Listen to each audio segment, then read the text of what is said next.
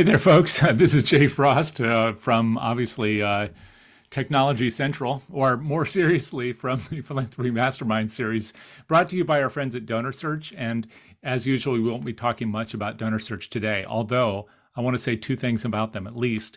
The first is that they've provided a platform for having conversations with the kinds of guests we are going to have on our screen in just a moment, uh, and, and many others. Uh, I think now 250 since 2017 in over uh, 450 programs, uh, podcasts, webcasts, and CFRE accredited webinars like today's. And that's all because they've said, go ahead, have fun, and, uh, and interact with people in the profession around the world. So I want to thank them for that and thank you for being a part of it as well as we go into well into our eighth year of programming. Now, in addition to doing that little shout out, I want to make sure that you know you can participate today as well. So uh, you want to make sure that you can make full use of the chat. And I see some of you are already doing that. So thank you for that. Do participate actively there. We really do want you to use that as a sandbox for you to play. We also have a Q&A section you can see on your screen as well.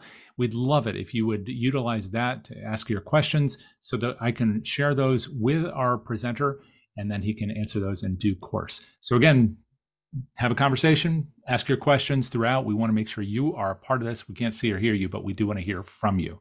And so, with that, I want to welcome onto the screen, if you can still hear me out there, our friend Ryan Ginard. Hi, Ryan. Thanks very, very much for being here. Um, no worries.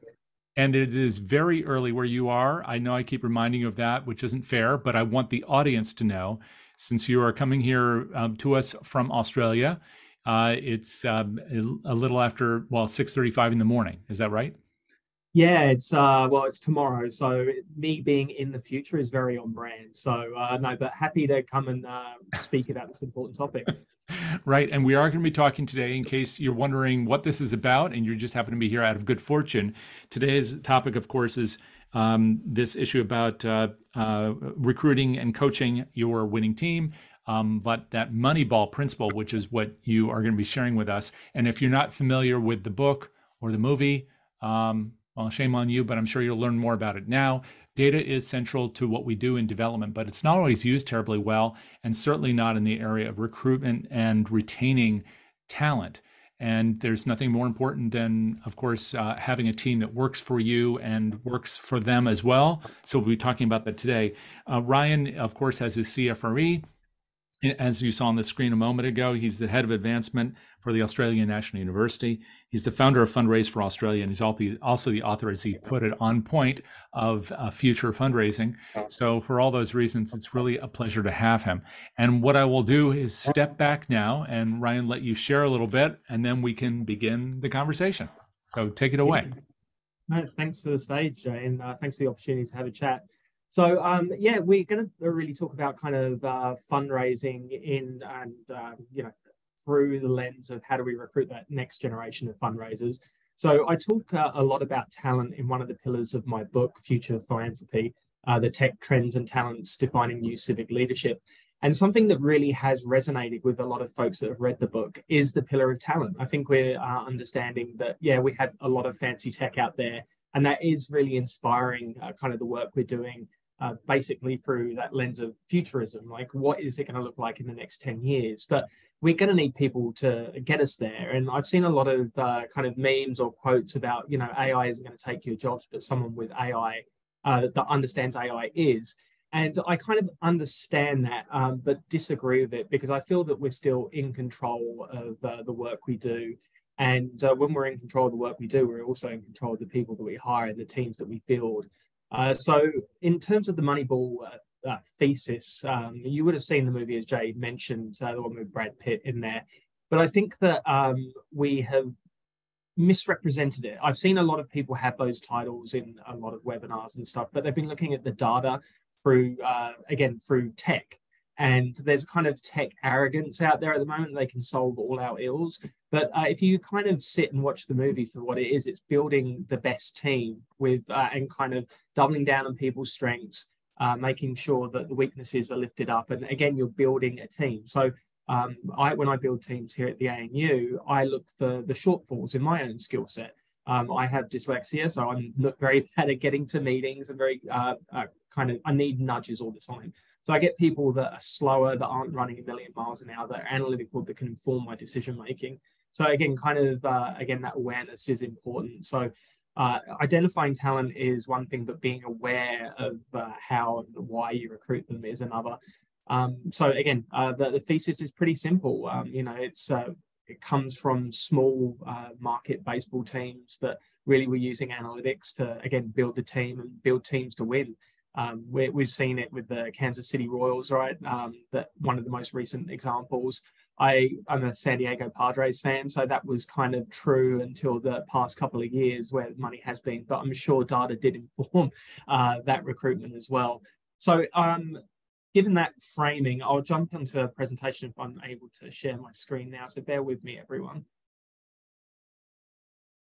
and I'm assuming everyone can see it. So um, again, kind of structured a bit more here for the conversation.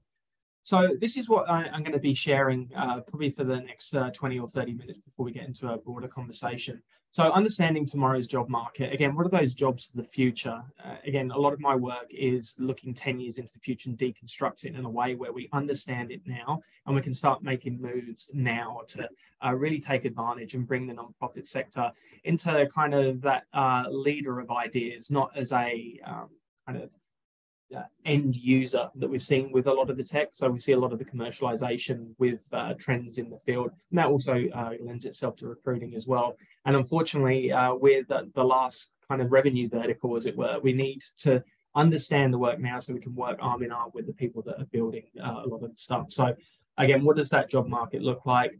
Again, professionalization, uh, professionalization of the sector. This is something I'm becoming very, very passionate about and doubling down on my kind of own work. We'll probably talk about um, a organization that I founded when I moved back to Australia called Fundraise for Australia and how we're identifying uh, folks and encouraging them to become fundraisers. Uh, so, but professionalization is going to be key there to again attract uh, more robust talent and keep them uh, learning along their career. So we don't see that 16 months uh, you know figure that keeps on uh, glaring uh, itself on every social media page uh, when it comes to retaining talent. And uh, then again, identify ways to empower your staff because um, I am more of a participatory leader. So I know when to lead, but um, the thing that really gets me moving is, uh, you know, linking arms with my staff and, um, you know, moving forward together, growing together. But most importantly, knowing when to get out of the way giving them uh, the roadmap for success and uh, then seeing them execute and helping them do that. So that's what we're going to kind of go over uh, briefly. So again, I'm a, a, a, rule of three kind of person. So I like kind of building platforms and pillars. So that's how we're going to uh, frame this discussion. So acquire, this is the front end, right? So this is um, the market is what it is. Um, we're in a small market um, kind of town where we're working for a small to medium uh, nonprofit and we we need talent. We've kind of put out our fundraising positions in the past and realized that you know we're just not getting that pull, right? So um, how do we kind of start diversifying that? How do we start identifying people and inviting them to see themselves as fundraisers? Uh, again, I lacing in the fundraise for Australia kind of um, approach. We're looking for skills. The good thing about fundraising is you can pretty much just be doing one job today and then start fundraising the next day obviously there's a bit more nuance to that and i'm uh, very much over generalizing it but um, you know if we can kind of start um, you know seeing the skills the the not only the hard skills that are transferable but the soft skills and how do we kind of we can't teach them to an extent where we can see that kind of huge measurable difference but i think tinkering around the edge so and identifying talent for what it is and seeing the ceiling uh, we can really um, find diamonds in the rough, like um, people that are in SaaS sales, for example they sell products. If we can get them to see uh, that that product being again the case for support, you know, uh, solving homelessness, uh, looking at world class research, then they're going to be able to articulate that message because really the only um, thing that I see uh, that really is an archetype of fundraisers is they're personable, they're able to hold a conversation. I, I see them mainly as knowledge brokers. They can articulate a vision and they can uh, connect people uh, to again that expertise to really get them over the line for making big gifts. So um, just i guess how do we call in that new talent? We're talking about the great resignation. I, I, there's many different kind of uh, facets to that and people are coining different uh, lines as uh, i guess a subheading. But the reality is, uh, the market is a lot more fluid since COVID. Um, fundraisers are very much in demand, so they're really in control of their own destinies. Um, a lot of people, um, you know, if fundraisers on the call now, they're um, no doubt getting emails from recruiters quite often. Um, so how do we get the people that are being laid off by uh, tech companies, you know, the project managers, etc., very values driven uh, from the organizations they've been working. They really want to make a large impact. How do we get them to see um, the social sector, social enterprise, non-profits as um, really a, destination for their talents from where they can grow and they can cheat everything they want and also get the uh, kind of pay packet that you know their work or their um, you know they know their value of um, AI and the jobs of tomorrow. I wrote uh, very much in my book that you know AI is going to automate a lot of uh, traditional industries, and it's going to mean a lot of people moving to the service sector. Um, you know, that's health, that is kind of non-profits. So we talk about that generational uh, transfer of wealth. We need to look at it as that generational transfer of talent as well, and that's something that uh, I think we're missing the boat on. We're not we with the generate uh, the transitional wealth. I think we um, see that as a given that people are going to give more, but no, it's an opportunity. And I think we should look at kind of talent there as well. So we're going to start seeing jobs in terms of maybe community organizers, uh, you know, uh, journalists uh, in community foundations, uh, data analysts when it comes to uh, investments. Uh, I think you're going to really see new people coming in where there is term limits as well. I think we're seeing some great research come out of uh, some of the foundations and regional associations of grant makers where um, they're exploring program officers just coming onto four-year contracts that are not renewable because again um, having someone on the ground that has their finger on the pulse is uh, really important to um, you know making sure uh, one you're representing the communities you serve um, and two um, you know that fresh ideas are coming in new energy etc so that's where i see the jobs of tomorrow and this is where nonprofit Moneyball really comes in. Again, we're looking for the the traits, right? We're looking for the skills uh, of people that could be great fundraisers.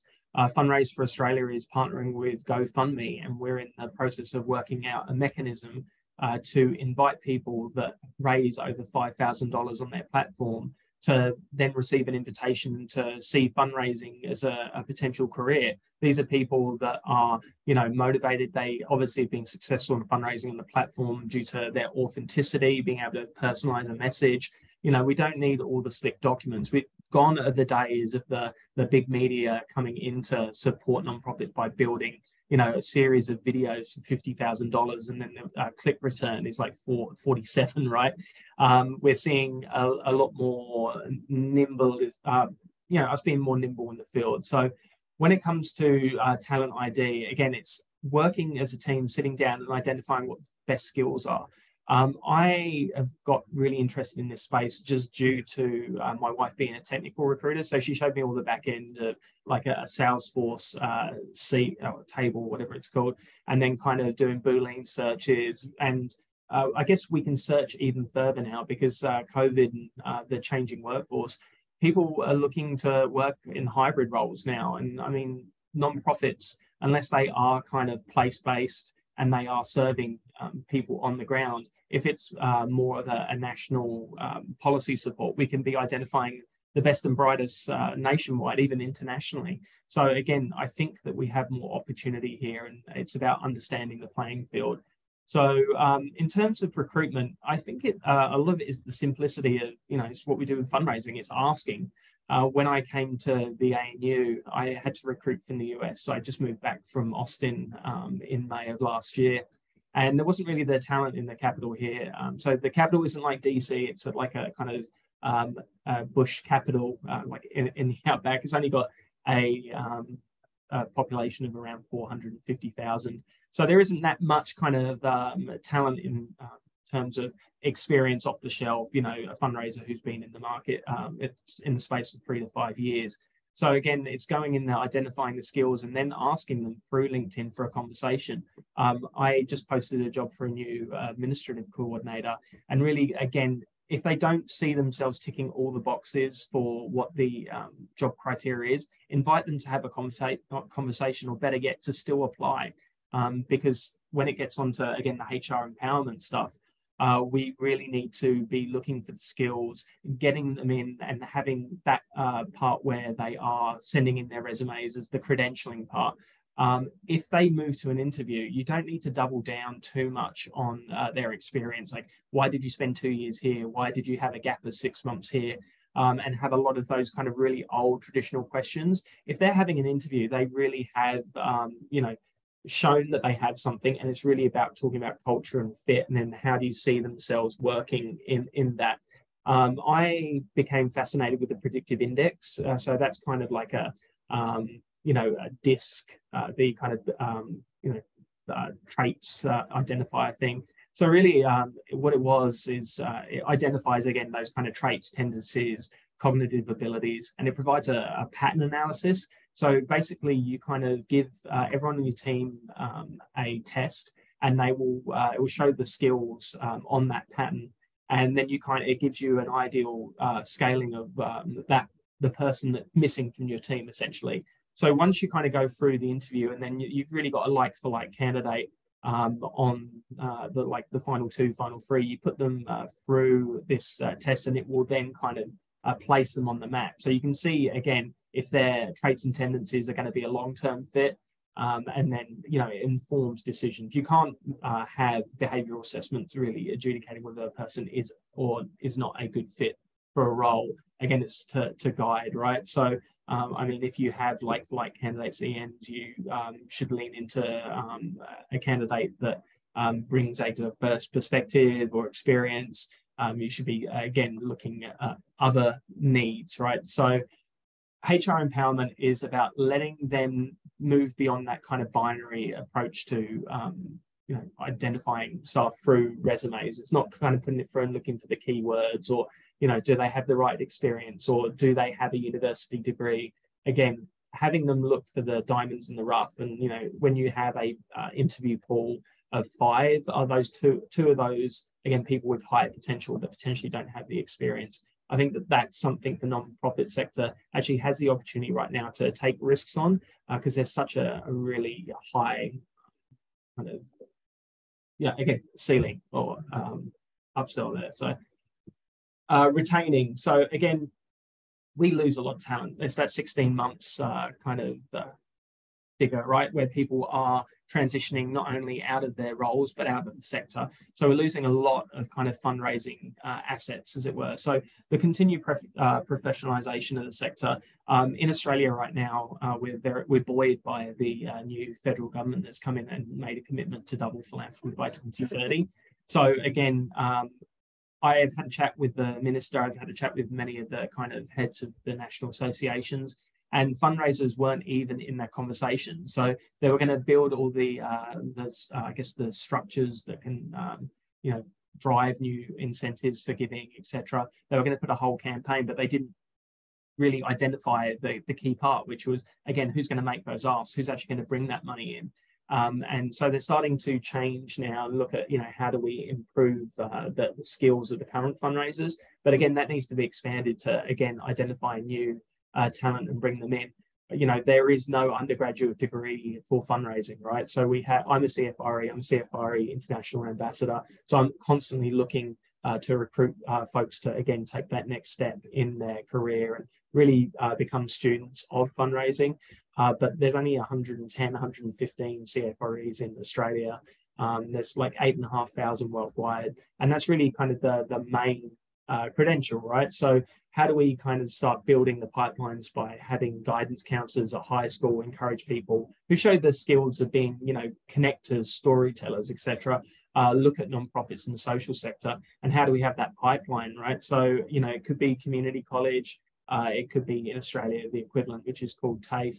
Um, you know, having one-year fundraising courses to up, uh, you know, upskill them and make sure they can hit the ground running because um, a lot of the smaller nonprofits, it's, it's hard for them to put up a $100,000 uh, for a new salary um, and to build from scratch a whole fundraising shop. So that's, again, you know, building a CRM.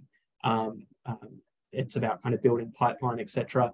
Some organizations don't have that 18 month to two year runway to, to build that up. So again, how do we skill people up. So like the fundraising academy at National University is a great example. um, you know, ones where training is affordable as well. So educating industry, again, it's kind of uh, what is the nonprofit sector? Like, where is it going? What can it be? 501c3 is a tax designation. It's not a business model.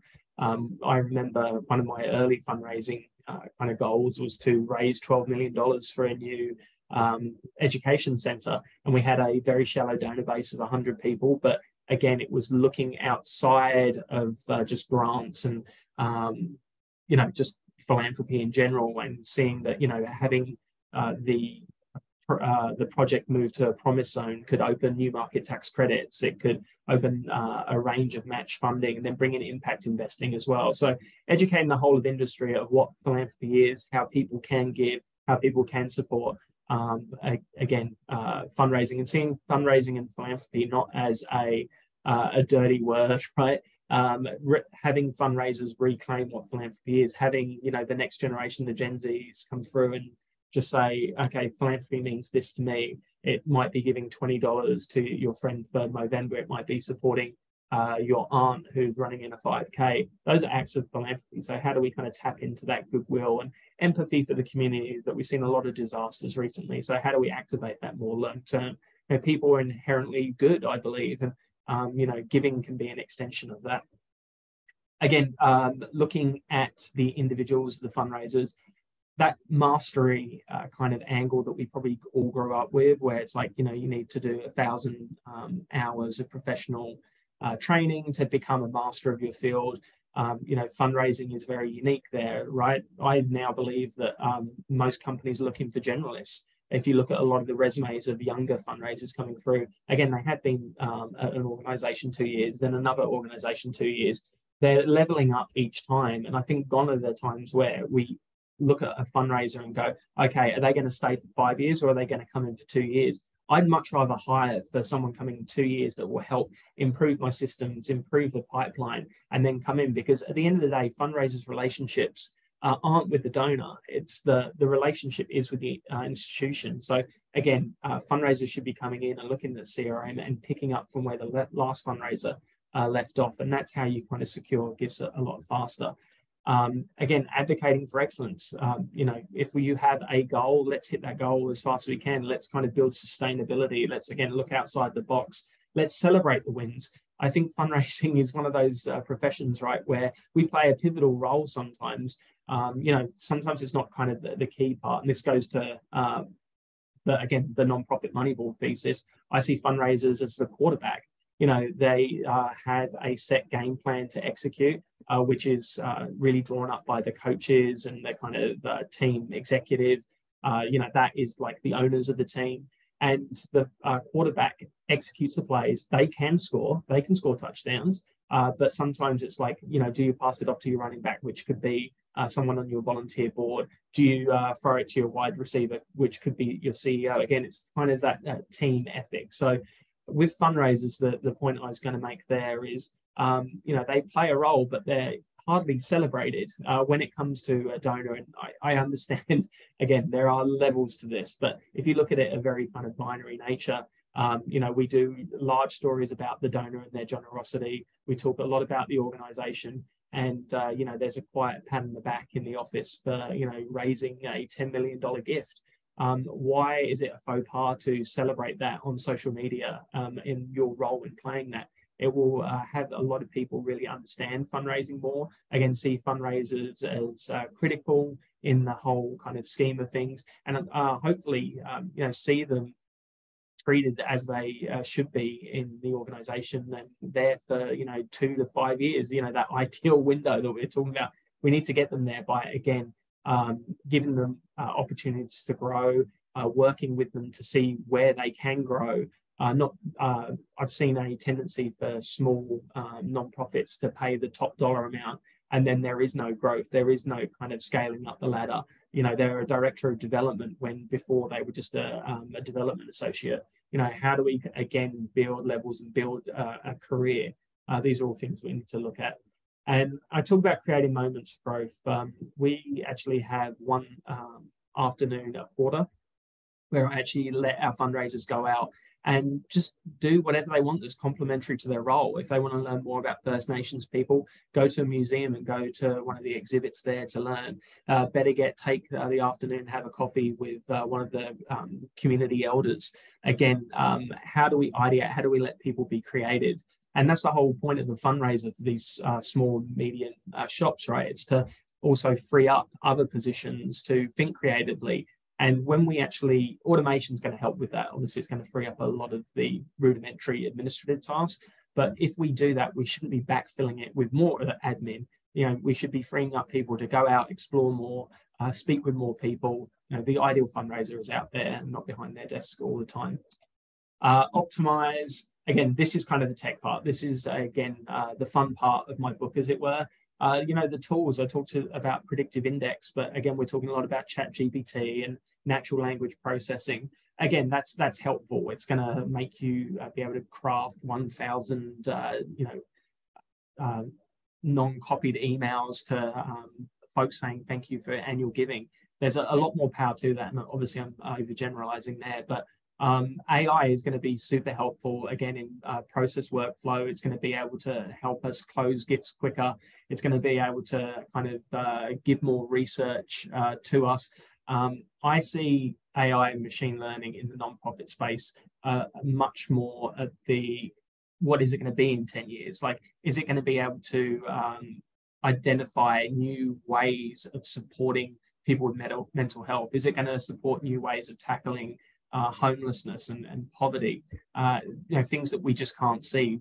We as organizations sit in troves and troves of data, right? But we can't see uh, a lot of those patterns. So uh, again, getting that computational help, I think is going to make us more effective in the work we do as well. Um, and yeah, it's kind of a lot of tech will, again, expand our networks. But the most important part here is it gives us uh, hope right? Um, I think that we have um, people that have been in the uh, profession for such a long time that I probably are resonating again with the professionalization, the kind of the growth, um, you know, tech coming in to support our work and also be able to um, critique it um, and um, you know score it. Again, uh, the hardest thing is to count what doesn't normally get count. Again, the time taken to cultivate a a, a donor, um, the kind of the marketing stuff that we do, the storytelling, uh, you know, informing uh, the comms team, etc. How do we kind of count all that and really paint a picture of our profession? So I'll just kind of wrap up again quickly with, um, you know, uh, what can we be doing? What should we be thinking about? Um, I really would encourage folks to again look what that future might look like in their field, what it might look like in their career, and how do you uh, kind of combine the two um, you know, talking about it in, um, you know, your kind of stand-up meetings, so you know, pitching new uh, tech options. There's uh, a lot of uh, freemium kind of uh, tools out there you can do a trial with. Um, I did text messaging for the first time at the University of Texas. Like I had to pitch why we should do it, and I think a lot of it is to do with again the the trust. You're more likely to answer a text than you um, are um, to answer a call with no number. And so trialing that out, and um, you know, we went through a good six month process about you know the pros and cons and what we're actually looking at doing, and is a good outcome to get a uh, a meeting with a major uh, gift um, prospect? Is it to disqualify someone? And during that session, which is just it was just serendipitous, right? And I think it just good luck for this story is uh, I raised uh, a hundred thousand dollars for a new scholarship out of a, a four back and forth conversations uh, through that SMS platform. So again, tech is there to to help. So uh, again, don't be afraid of using a lot of the stats that are coming out of the industry now to um, like pitch up to your leadership why you should do a trial with it. Um, what trends in the sector are you most excited about? Feel free to drop that in chat. I think that that can inform uh, Jay and I's conversation moving forward. And this is the most important one to me. It's kind of a reflective piece.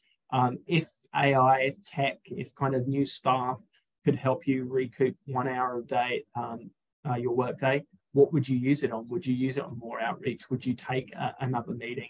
Um, really interested to hear what people's thoughts are there. Um, we can do a lot uh, you know, the profession can be more, do more, um, achieve more. And, um, you know, I think it really comes down to um, you know, taking a chance on uh, on talent and uh, helping it grow and thrive within your organization. So I'll stop there. Um, thanks uh, for the time, and, and hopefully, uh, you know, it's spark some interest.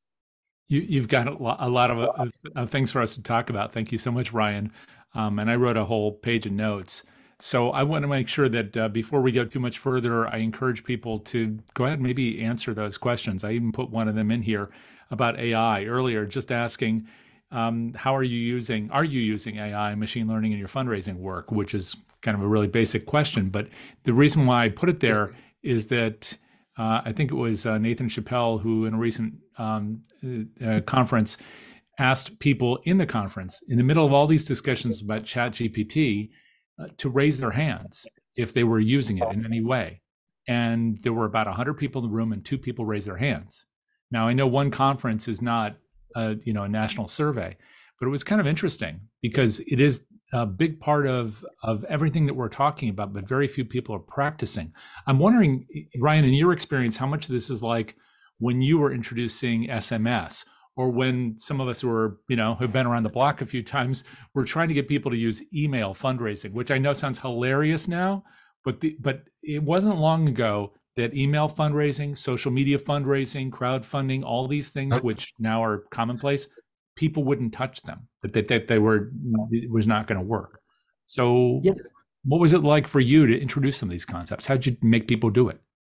Um, the funny thing is, like the SMS uh, thing was at the University of Texas, which we know has a huge fundraising machine. It's going for a six billion dollar campaign. Uh, you know, the second largest endowment in the country behind Harvard. This was only two and a half years ago. So right. this is text messaging. It's kind of uh, you know it was how do you um, what are the steps to disqualify a um, a prospect as a major gift prospect?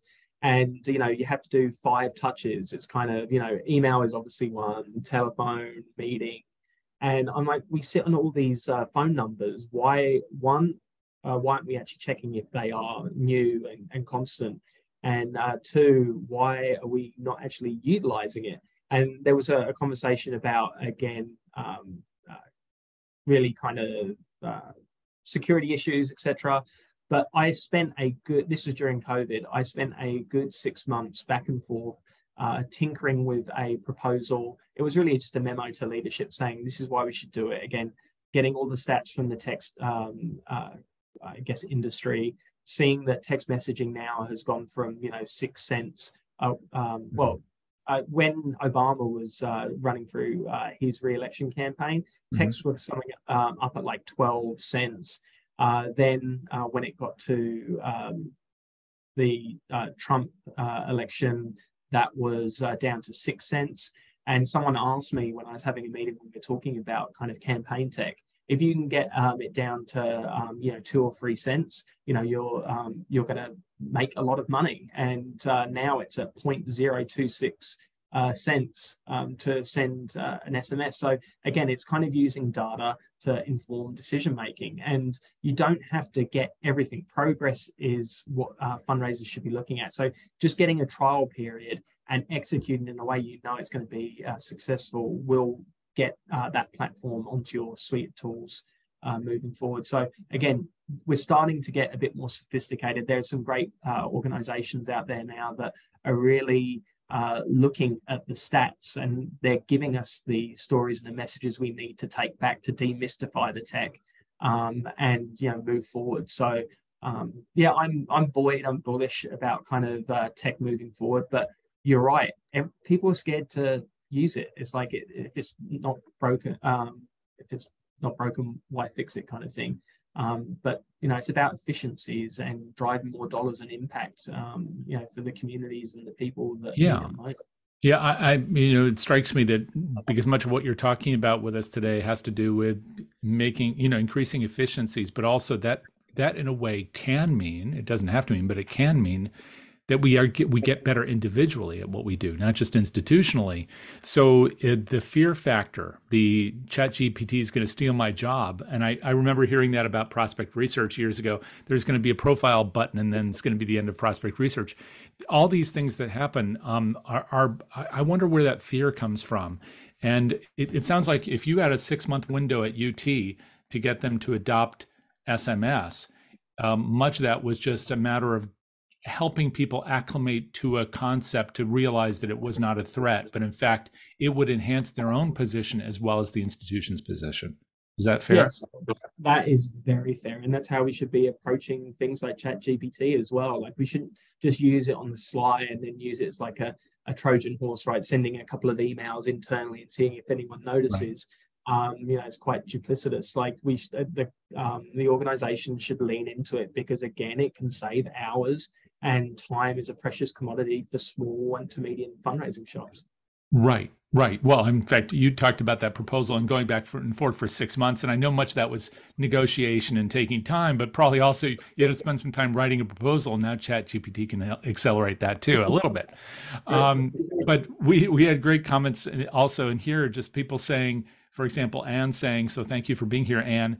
Um, I wouldn't initiate many projects without ChatGPT at this point, uh, and it saves time, but potentially more importantly, it also improves quality. Um, and uh, uh, Meryl was saying, yes, just beginning the last few months. Lasara, excuse me if I'm mispronouncing your name, uh, I've used it to draft some things. I actually love working with ChatGPT. Um, Lisa saying we're starting to look at it and integrate it into our fund development messaging, et cetera. So I, I know that some people, uh, like another comment that just came in, said, I haven't tried it. Uh, it's definitely not mandatory, but I guess like anything, we have to figure out where things fit for us and where they help us get better. And also the products, it's this is not um, it's a moving target.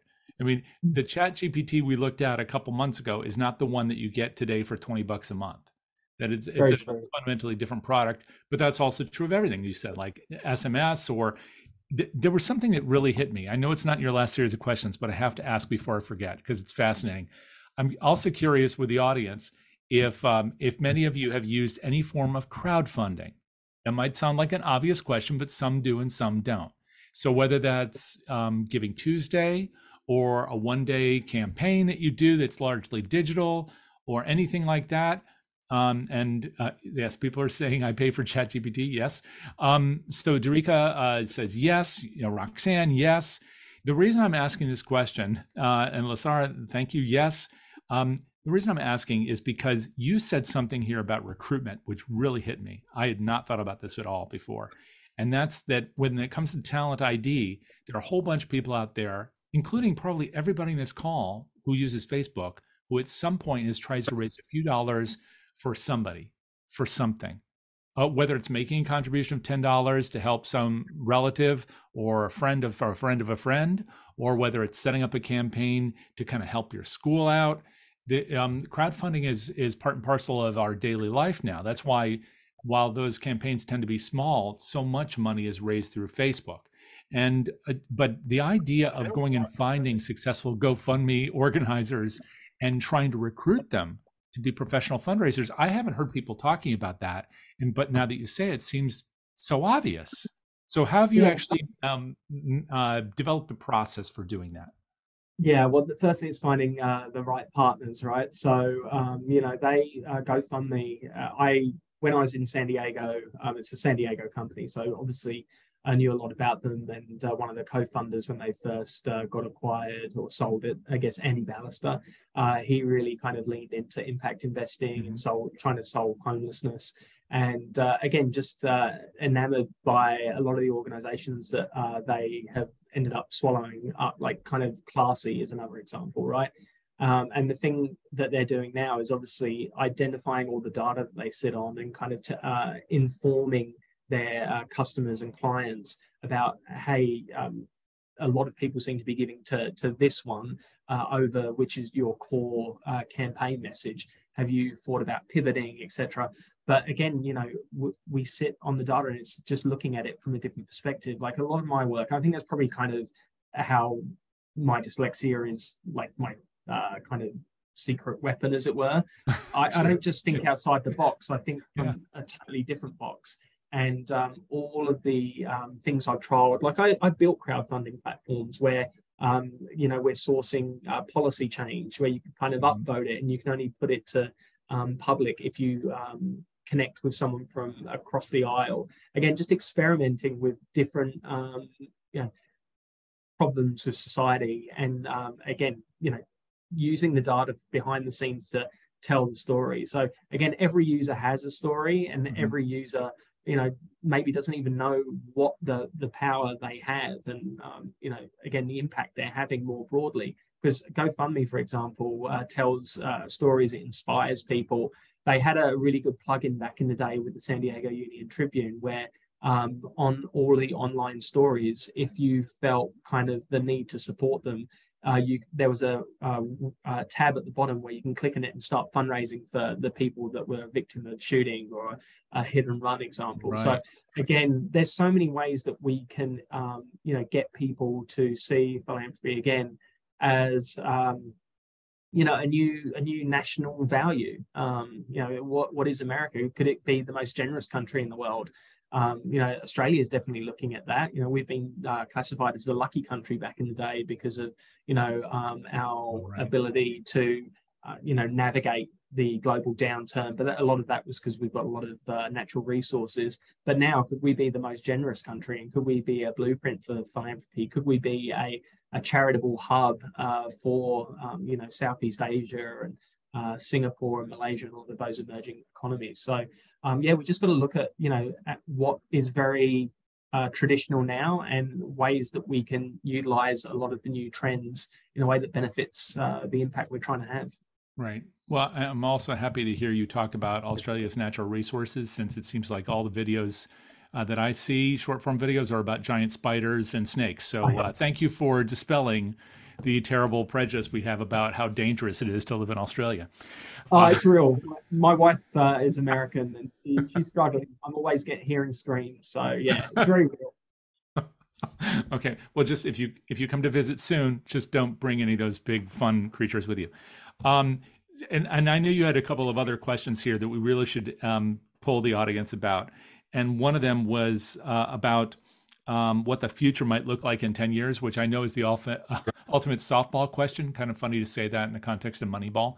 Um, but it is important. And because doesn't future casting require us to some degree to be able to say the reason why we want to do something tomorrow is to get to the place we want to be in 10 years? Yeah, oh, you're, you're spot on. Like uh, the future is what we want it to be, right? I think that um, we can't get there. Again, um, it goes to kind of the demystifying tech and being worried. I honestly think that doing strategic plans stifle creativity in the nonprofit space. It um, it boxes us into like three to four to five years, um, and it doesn't make us look at ten years. Like again, we look at okay, well, this board member is going to cycle off next year. They come in with new ideas, and the organization totally pivots in some cases. So um, whether sometimes that's good, like if a, a, company wants to, I mean, the organization wants to look more at um, equity issues mm-hmm. um, or kind of race, that's fantastic. But I am uh, a proponent of uh, strategic uh, kind of cycling. So again, where do we want to go in 10 years? And when we get to a milestone, that that makes us move on to the next phase. And what that can do is again, um, you know, make us more nimble, agile, creative, um, it can make us look at um, okay so we're in this phase now. So this phase we noted would be one where we would um, you know we're sustainable we just diversified our revenue streams. This is where we get to the next level. So uh, tech could be a component of that. So um, during this phase we're going to recruit a couple of people that have it knowledge or um, you know uh, work for a non-profit tech company.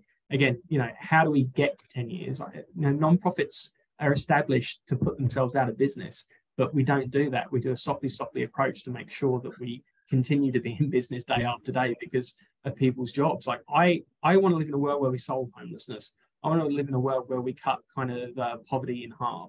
Um, and that's what I work towards. And that's why I have these conversations about getting new talent in, new ideas, um, because, you know, nonprofit system isn't broken it's just super stagnant and you know again all the work that's been done over a hundred of years that tells a story and it should inform better decision making. It should inform different approaches because philanthropy to me right now is just societal triage rather than seeing the solutions of tomorrow. I, um, this might be kind of a, you know, uh, poking the bear question, not not with you being the bear, but just the bear out there somewhere, which is how much of this is, is a generational issue? Because I know that people of a certain age, like myself, that sometimes they've been resistant to certain things. And I don't just mean in terms of tech, but and I don't mean in terms of necessarily new ideas, but maybe where the ideas emanate from. Hmm. And I, I wonder if if there's a way to get people to be not just receptive to and um, and tolerant of ideas that are new to them, especially from a rising generation, um, but actually seeking them out and trying to bring them in because that's where not only do we come up with good ideas but we come up with more revenue. I mean if we don't have more revenue we can't solve homelessness for one thing. So how do we get how did you get the people at ut and all the places you've worked with in these different places and the people you've talked to in the context of the book especially if they've been around for two three four decades to start thinking i'd better listen to someone who's only been around for 15 minutes because they might be looking at this with fresh eyes um, to be honest, no one used to listen, and I had to get smarter. So again, bringing in the right people, going out um, and re- helping them recruit new ideas to kind of the board, helping uh, again bringing in staff that shared the same ideas and values, and then showing the results. Like I, um, you know, you kind of had that big iceberg of fundraising, right? You've seen kind of the images where it has underneath, you know, research, uh, kind of uh, prospect ID, board, um, kind of referrals. But at the end of the day, leadership only see the dollar on the top. So I found that the best way to um, give myself enough goodwill to go and pitch something is to do what I'm hired to do, and that's raise money, and then uh, you know make sure I raise my goals as quick as possible. So then you know I've got time to um, you know share ways that we can be even better. Like I think when we come to fundraising goals, right, you go, okay, this is the end of the year, we hit X, let's chuck another 10% on it. That's not built in any kind of uh, reality. So again, you know, how do we kind of inform uh, better decision making? How do we kind of get um, give us everything we need to do to, you know, again, level up and really uh, excel in the, the, work we do and the, the work we're passionate about. You know, I I was just a very, very small fish in a very big pond. And then I wrote a book and then things changed, right? And then I get opportunities to speak here. I'm still learning. And I think that if we can adopt that kind of learning culture uh, in our space, uh, be open to new ideas and, um, you know, kind of critique them at um, their, their real worth. Um, you know, I, am all for nonprofits um, and nonprofit 10 companies giving new solutions. If they don't work, it doesn't matter. Like if the best thing they can do, and I'm, i saw it at Pond, um, the uh, the nonprofit marketplace that was uh, it was like a tech marketplace, and uh, they were paying people to do demos and uh, you know explore new tech options based on their ideas. They they folded, but the CEO actually went out and shared uh, the reasons for why it folded it's like fundraise for australia i said let's do a pilot of 25 people mm-hmm. and if it doesn't work we'll report out what we learned and what the data was so some people right. uh, some person can look at it pick it up and potentially get us one step closer to a solution in this space and um, you know again we sit on data and we're lazy like we've got real opportunity uh, to maybe even donate data to a foundation that you know will can be charged with you know again doing research reports and informing our decisions so we can get bigger grants, right? Um, that can uh, show us where we're going and if we're having a real impact, not a perceived impact where we cherry pick the stats. It's uh, you know that's one of my real ills, um, uh, sorry, around philanthropy and uh, community foundations. You know they give money to um, uh, kind of the nonprofit to do the work. It's very much in a confetti approach, and then they come in at the end of the year with a um, cherry pick the data um, and have the photo and do the media release and get all the credit for it. But that's just not the way philanthropy should be. It should be again a lot more uh, inclusive and uh, you know a, a, true partnership on behalf of the community. So. Yeah, it seems like um, a lot of people are uh, in a self-protective mode, and I don't know yeah. where that fear comes from um, because they're there's I mean most are obviously very sincere and hardworking, but if they've got this protective layer, then it becomes difficult to um, to move beyond it. It becomes your own prison. I, I realized, though, speaking of my own prison, that I wasn't looking at the Q and A. So, first of all, Morgan, I apologize. I'm re- reading your question now, and that's that with the erosion of the middle class in the U.S., more dollars are being given by fewer donors in larger amounts. This is something we've talked a lot about in this series. It's really an, an interesting riddle, and it may be different in Australia. I want to acknowledge that first before I ask you the rest of this. But certainly true here. How will technology and AI influence the nonprofit sector, particularly in relationship to growing major gifts? how does uh, uh, for example, they they ask about DonorSearch, but how does how do any of these companies, I guess, or how do you uh, see responding to this continuing trend? Yeah, um, well, in terms of Australia, we're we're very high in that kind of generosity rankings, but as a percentage of GDP, we are very much behind a lot of the kind of westernized nations uh, across the globe. So yes, we do have issues, and that's why we're trying to double giving by 2030.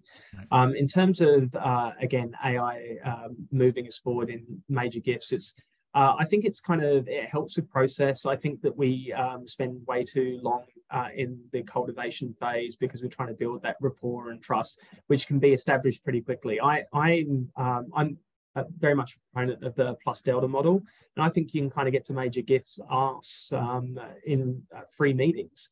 Um, so again, how do we have the data that shows that? Um, and it's not kind of just the gut. Like um, I had a meeting with a prospect um, and we we had dinner and it was a great conversation. We showed all the markers and we asked them for five million dollars the next day. Um, he then said, uh, "Come back to me with something larger. I have uh, kind of uh, a capital gains uh, issue." And you know that moved forward really swiftly. So um, a lot of AI and tech should be getting us really giving us the ability to get out there more um, you know, AI in our CRM, again, identifying keywords through natural, natural language processing, right? So if we've got a new, uh, we want to stand up a new um, center for machine learning, anyone that is in our database that has mentioned machine learning that has been, um, you know, added in by a, um, you know, a fundraiser into the notes, we should be able to pull that and pull a list. So we've got then a pipeline of say 30 individuals that we should go through and see if they're interested in supporting it again, um, you know, a lot of people that are doing um, uh, annual giving, like maybe even if it's just kind of a hundred dollars a year that we hadn't seen because it mm. hasn't kind of uh, hit those uh, major gift milestones. But again, the the model has seen that there's intersection there between volunteering, uh, the annual giving, age. Uh, that in the notes they they haven't got children, you know, um, pinging a, a frontline fundraiser saying you should be talking to this person about um, a, a, estate gift, and then um, you know, secondly, uh, we we our data is showing that you know this would be a good candidate for a blended gift as well, X amount. Again, it, it informs us to go after them. It's not a short uh, sure deal. It's not like a home run in the money uh, Moneyball sense, right? Uh, but again, there is a lot of data out there that can inform better decisions uh, and can, uh, you know, find the diamonds in the rough. You know, we all have that story of the the um, old lady that left, you know, five million dollars in her estate. No one knew about her. She hadn't actually been, um, you know, with the organization. We can find her 20 years earlier and have her become a partner of the organization. You know, potentially get more involved. Uh, it, you know, more money will flow in. There'll be a bigger impact and you know she that person who gave would be able to see the impact as it happened so again you know what is philanthropy to us right now? What can it be? Uh, um, you know ai i think can help us tell that story. It also seems to help with the velocity issue. And there there are there's this expression that i'm sure that you've you've heard plenty maybe you do or do not agree with it that um, that philanthropy moves at the speed of trust. But but that seems to imply that trust takes forever to build. And i wonder if maybe the opposite is true sometimes. If we are building you said something really uh, i thought was profound in terms of our recruitment and retaining of employees. There's this discussion about how um, a lot of development officers will come in especially in higher ed settings and they're there for 18 months and then they move on. And there's almost this dismissive attitude about it. Like either they're just they're just in it for themselves or something like that. But you talked about this in a very different way about how maybe two years when they're trying to build relationships with the institution not with the donors they're they're the uh, ambassadors for the work and to facilitate giving to the institution they're not there to build these infinite relationships um, mm-hmm. that it's it's very different so two years can be highly effective maybe more mm-hmm. effective in many respects than someone who's around for five or ten years and that's a very positive way of viewing what people can do with a limited amount of time to help a donor and an institution make something profound happen. Um, yeah. Are you finding people responsive to that argument? Uh, yes, um, I, I, think they come in as a circuit breaker, but again, you've got to make the case. You've got to make the case uh, to your uh, hiring committee as well. So again, getting the right people on there, empowering HR to go, okay, getting someone in two years it might, you know, we see all the stats about how expensive it is to lose someone after two years. But again, we're cherry picking the data there to show why people should stay, and mm-hmm. um, you know, hitting that narrative of you know we can only be successful if someone's in there five years because they've taken the time to cultivate, um, you know, build the trust, you know, get that big gift. But again, we are um, representatives of the organization. We don't take that relationship to the next uh, kind of organization. It pains me. It really pains me when I hear a fundraiser going, Oh, that's a, that's an interesting question because uh, I was interviewed um, and they uh, basically said, um, "Who do you know?" And they go for people that are more networked rather than the kind of skills. And um, you know, it's the power dynamics of not the non-profit world that has you know really um, you know, been a, a cancer on, on our field and, you know, made sure the bigger organizations keep on getting bigger. Um, you know, they're the ones that scoop up all of the big grants uh, because, you know, the CEOs, uh, you know, going to the same country club dinners as, uh, you know, the, uh, the, the grant making chair of that big foundation. So mm-hmm. again, I, I think that hiring people for, again, the skills and what they can do within a two year time frame uh, that go on and do great stuff afterwards as well. Like they actually kind of, you know, they'll go into bigger and better jobs and they'll also tell a great story of the organization uh, that they kind of worked for. Right. Um, you know, we need to start understanding again what the next generation, when they become uh, they come of age professionally, what they want. They only want to stay two years as well because they want to keep on learning. It's like that generalist mindset. So give them what they want, give them the opportunity to learn, give them the opportunity to get out the, uh, on the ground and you know, uh, again, have conversations that we probably haven't had in the past because we've been too scared to have them or we hadn't thought of uh, kind of these new ways. Fundraisers to me are, are changing. They are knowledge brokers. They um, you know are data translators. They again they have a case for support and they've got to be in the moment. Um, they need enough to know uh, they need to know enough about the subject matter to hold a conversation and move it to the next level where they connect the expertise. It's like when i was at um, the school of computer science at ut you know, did I start learning about quantum computing? Yes. Am I ever going to be able to do anything there? Am I ever going to be able to talk with an international um, you know, scientist? No, but I know enough to um, have them go, okay, this is interesting, and I'll connect them with the expertise, right? So uh, again, let's let's start hiring for what we need um, not hiring the person because they have five years experience at um, you know UNICEF or they have five years uh, experience at the Red Cross. That means nothing at the end of the day. You you're making assumptions on how those entities work, um, and yeah, let, us just do it right and let data uh, lead us there. And uh, nothing against UNICEF or the Red Cross. That was not the no, point. not at all. I, I work with them. we love the UNICEF and the Red Cross. yeah, but unfortunately, we have to use the big players uh, to show the Absolutely. shortfall bottom of the chain.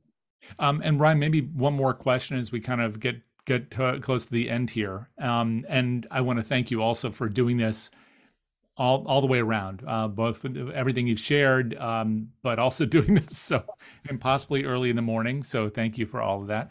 But this great question came in from Laura, who had said, "So getting to major asks in three meetings."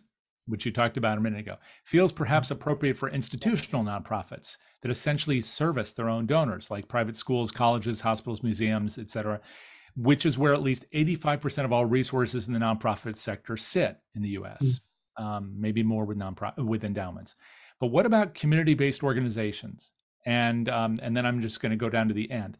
How can these tools, and I would argue also processes, because we're really talking about tools when we've talked about AI and SMS and all these things, but we're also talking about a way of thinking about things. How can these tools and processes help them, especially help these uh, these community-based organizations, especially when they aren't starting with large built-in donor bases and staff. Now, and by the way, I don't want to answer the question for you, but you made a reference earlier to only having, I think, 100 donors or something when you had to raise 14 million. Yeah, 12. Yeah, so uh, look, what, yeah, it's confidence. It's confidence. I, I think that that's the story that we're we're told, right? We again, we need to build the relationships in a way where you know it's a surefire thing. Like, I mean, I have now come to the realization that you know the best thing we can do is get a, a number of proposals out there and you're not going to get 100% like fundraisers i've seen a lot of statistics i've actually seen a company that looks at sandbagging right in terms of you know, people don't enter, uh, they don't give a proposal until it's like 95%, 100% sure because they're worried about rejection. Like wow. fundraisers need to know that, you know, you can be told no and that's fine. So mm. um, again, we we are too much in our heads. Like we need to again be um, you know good ambassadors of the organizations that we represent. It's like i speak to some amazing people uh, around politics. That was uh, what i was originally in before i transitioned across. Um, you know for all people out there getting um, uh, kind of former political staffers uh, they make great fundraisers.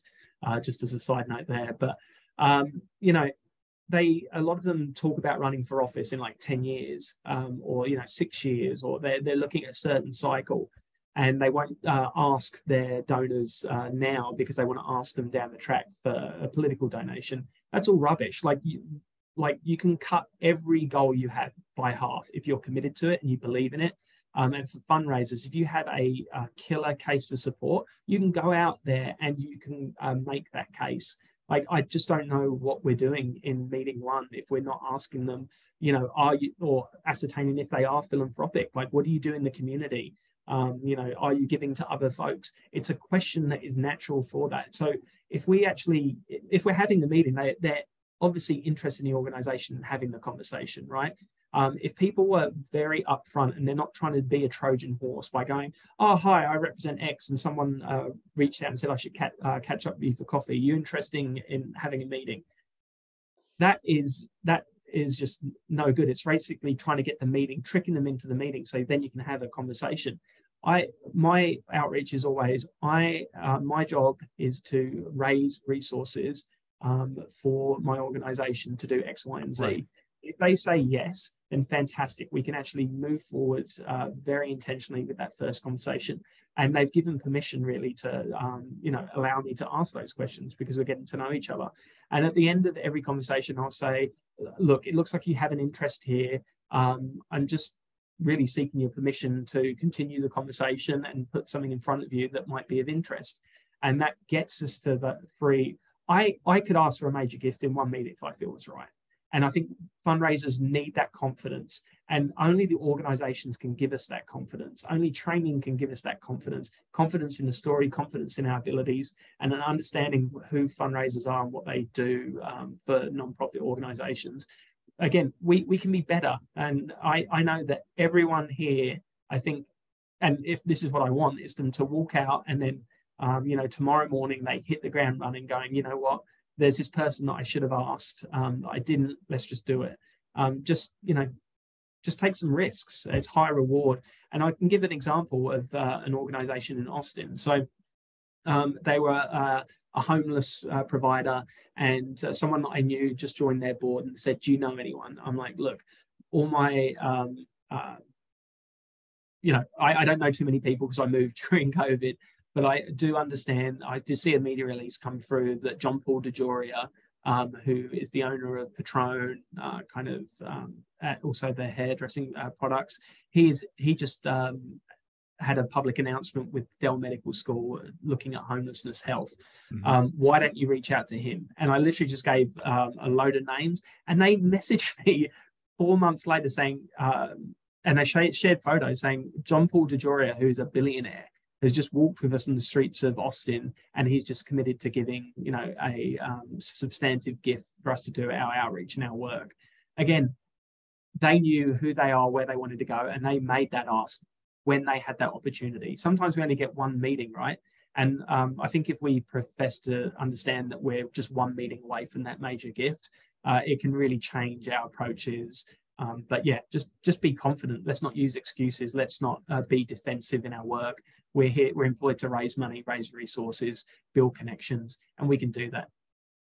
Thank you so much for all this, Ryan. And I'm sorry, I know we have another question or two in the chat, but we'll have to unfortunately save that for another day. Hopefully, we can wake you up early um, someday and uh, and be able to have another conversation. But until then, I just want to tell you how grateful I am for for you to come in and, and share with us today.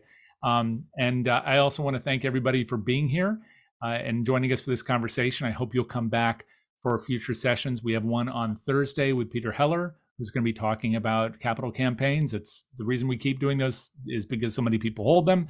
Um, and I'm sure we will infuse that conversation with what we just learned from Ryan, because you cannot do a capital campaign if you are reluctant ultimately to invite people to give to that campaign. It just doesn't work. Um, but anyway, I'll, I'll leave the rest to Peter, uh, and he'll be talking about all that on Thursday at 3.30. We also have a great episode of the podcast that was released this week uh, with Raj Vinnakota um, that you'll enjoy. And so I hope if you like uh, listening, that you'll check out the podcast. It's a great place to learn about people's personal stories and their whole their whole lives uh, in and out of uh, fundraising and philanthropy. And um, you can learn all about this and more by watching the slides that are going to pop up right next. So please take a look at that, and it'll guide you to where you can learn about um, how to get a copy of this presentation, uh, future slide decks from other presentations, maybe this one too, Ryan, if you're willing to share the slides. Um, and then additionally, where you can get um, access to all the recordings we have in this series. So you'll see all that right now. So hold on and take a look for that. And, um, and we'll see you all soon. Till then, take care. And thanks again, Ryan. Thank you. Thank you.